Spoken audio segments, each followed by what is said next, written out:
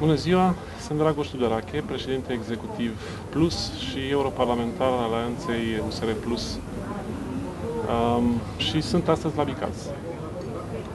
Nu e întâmplător că am venit la Bicaz, mă leagă de acest oraș și de ținuturile din jurul Bicazului foarte multe lucruri dragi. Um, am descoperit Bicazul prin ochii uh, cel mai bun prieten al meu, pe care l-am întâlnit în facultate la Iași, și care m-a dus în primul an de facultate, în timpul iernii, să urcăm Ceahlăul.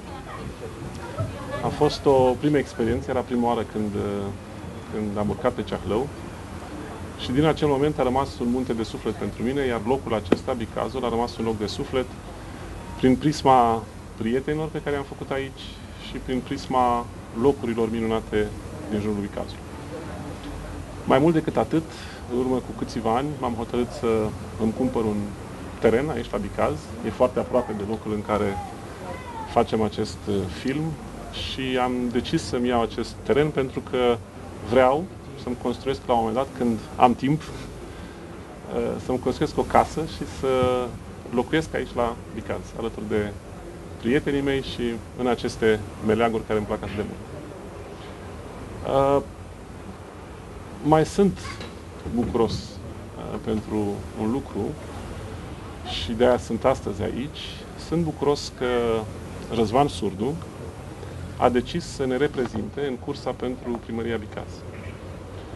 Din păcate, oricât de frumoase ar fi locurile acestea, ele au nevoie de o mână de gospodar, au nevoie de cineva care să, să ține la locul ăsta și să lucreze pentru oamenii din Bicaz, uh, să aducă proiecte la Bicaz, să cheltuiască banii din Bicaz uh, în mod transparent, în așa fel încât să profite cei care locuiesc aici. Și uh, aș vrea să te întreb, Răzvan, în primul rând, de ce vrei tu să fii primar la Bicaz? Uh, ce te-a făcut să decizi să ieși din confortul vieții tale personale, profesionale, ca toți cei dintre noi în Alianța USR Plus care am decis să facem politică, cu toții aveam o viață o viață care totuși simțeam că nu, nu e suficientă pentru că nu dădeam comunității și nu participam la schimbarea pe care cred că ne doream cu toții. Și simt că și tu ai făcut acest pas din aceleași motive, dar uh, cred exact. că e exact. bine să, să auzim de la tine motivația ta. Da. În uh, ceea ce mă privește, uh, m-am născut, am crescut, am mers la școală în acest oraș. Toată copilăria și tinerețea mea se leagă de orașul Bicaz. Viața, cariera militară pe care am uh, urmat-o m-au purtat prin multe locuri, atât prin țară, prin străinătate. Uh, însă după ce am uh, trecut în rezervă, am revenit la Bicaz, unde am o casă deja, rămasă de la părinții mei, cu gândul să mă ocup de această casă și spre, pentru viitor, când și soția mea va încheia activitatea, să ne retragem în aceste locuri.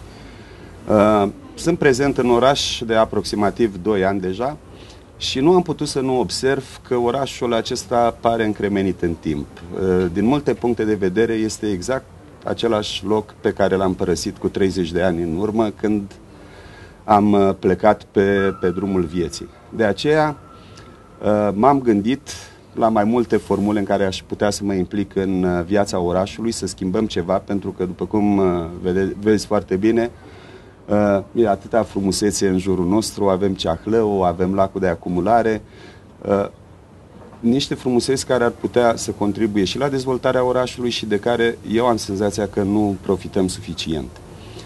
Uh, tocmai de aceea, găsind echipa nouă, tânără, determinată și foarte motivată de la Partidul Plus, filiala Bicaz, am hotărât să mergem împreună și să încercăm să producem o schimbare aici. Uh, toți avem o carieră politică aproape inexistentă. Personal am început ieri, a șaptea săptămână de când sunt membru al unui partid politic și înscrierea mea în partid coincide cu inițierea campaniei electorale aici. Uh, principalele noastre obiective pentru orașul Bicaz sunt, în primul rând, transparența decizională, transparența în cheltuirea bugetului local și atragerea de fonduri europene. În al doilea rând, considerăm că este nevoie să facem mai mult pentru creșterea nivelului general de bunăstare și prosperitate a locuitorilor. Pentru că oricum, am, orice am încercat să spunem, un oraș cu locuitori săraci nu poate să se, de, să se dezvolte cum, cum ar trebui. Uh, în al treilea rând, vrem, uh, suntem foarte preocupați de viitorul orașului și pentru aceasta considerăm că trebuie să le aducem o perspectivă tinerilor. Între proiectele noastre avem, uh, printre altele, acreditarea unei școli de meserii, un proiect foarte drag inimii mele și consider că pot să-l fac pe modelul Centrului de Excelență NATO de la Oradea, în care mi-am desfășurat 10 ani de activitate. Deci cam astea sunt motivele care mă determină să le propun bicăjenilor schimbarea, o alternativă uh, mai puțin politicianistă și împreună, printr-o administrare participativă, să schimbăm viitorul orașului. Da, eu, uh, eu vreau să fac o promisiune din partea mea și din partea echipei de europarlamentari a Alianței USR Plus.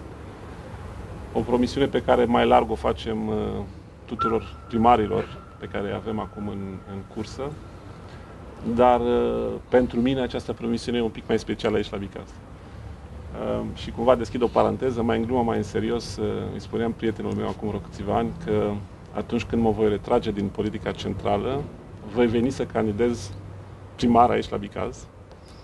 Uh, și gândul ăsta încă nu mi-a ieșit din minte, dar asta dacă cumva, Răzvan, nu o să fii tu primar până, până atunci, mai multe mandate, ceea ce îți doresc, uh, Mulțumesc. Uh, dar revenind la promisiunea pe care, pe care vreau să ți-o fac și pe care o fac și bicăzenilor, și anume că de acolo, de la Bruxelles, te vom ajuta pe tine și vom ajuta echipa Alianței USR Plus, echipa Plus de aici de la Bicaz, să aduceți aici bani europeni, proiecte europene de care Bicazul are atâta nevoie. Spuneai și tu, uh, de la digitalizare până la proiecte de infrastructură, uh, servicii publice uh, pe care sigur bicăzenii le așteaptă, toate acestea trebuie făcute din banii europeni.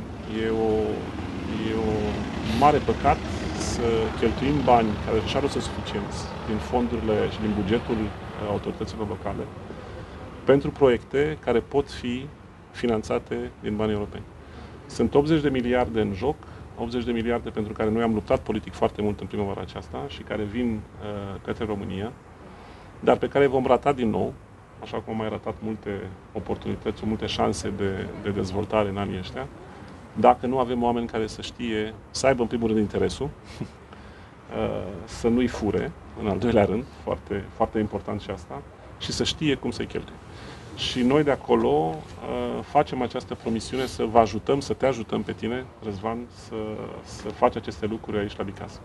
Și poate să-mi lași peste 20 de ani uh, moștenire, o primărie și un oraș frumos în care să, să te concurezi atunci uh, și să-mi îndeplinesc acest, uh, acest obiectiv de a deveni odată primarul Bicasului.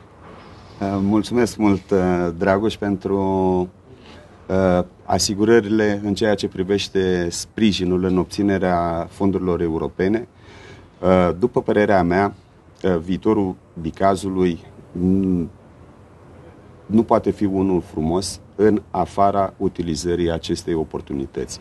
Pentru că, nu știu cât știi, bugetul, resursele locale sunt destul de sărace, bazarea în exclusivitate pe diversele oferte naționale de finanțare nu mi se pare una viabilă, deoarece acestea de cele mai multe ori vin cu condiționări politice și alte situații uh, mai puțin deschise, dacă aș putea spune. Și părerea mea este că oportunitatea pe care ne oferă fondurile, accesarea fondurilor europene este mult prea importantă ca să o putem rata. Uh, mi-ar plăcea sincer să vii în orașul Bicaz mai repede decât cei 20 de ani.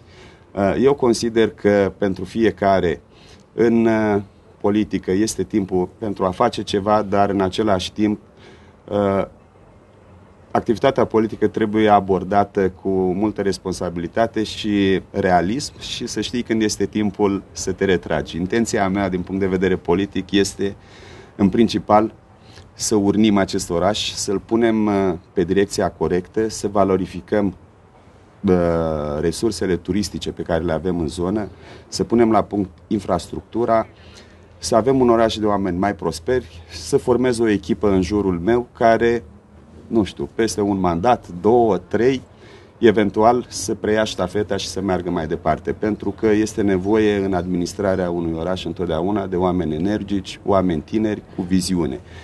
Odată cu vârsta și apetența către nou, la multă lume se mai diminuează, apar și alte preocupări.